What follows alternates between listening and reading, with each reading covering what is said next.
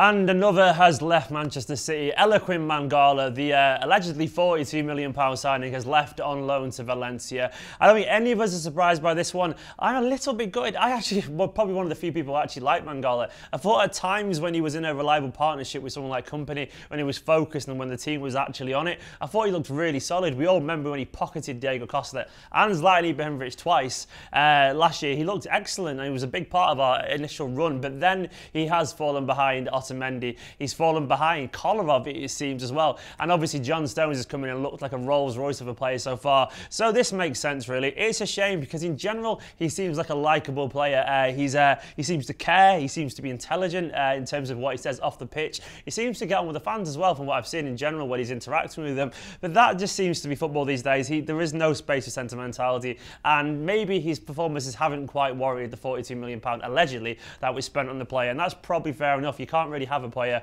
um, who's mid 20s and expect them not to be really at the, highest level. And in, there are some questions about his overall suitability to Guardiola's style. Uh, John Stones is obviously a lot more uh, adept at the whole passing out the back thing. Otamendi seems to have made vast improvements on that aspect of his game. And Vincent Kompany, as we know, is capable of that anyway. Kolarov as well seems to be turned into this kind of Beckenbauer ball playing centre back. I don't know where that's come from, but it hasn't really helped Mangala's kind of um, his uh, claim for a place in the team when uh, Kolarov is a much better passer of the ball, and that's what, obviously what Guardiola kind of values. So Mangala's gone alone um, temporarily, obviously to Valencia. I suspect he won't come back. I suspect maybe next year he'll move on, like the likes of uh, Hart, Bony, uh, Nasri. These will all probably not come back either, because I don't see them being part of uh, Guardiola's plans next year if they're not this season. It doesn't really add up for me. It's a shame, but that that's it. I, I don't. I'm not surprised in the slightest, really. I suspect he'll do all right at Valencia. He might learn to pass the football a little bit better over in Spain because it's a different kind of league. But in general, his game was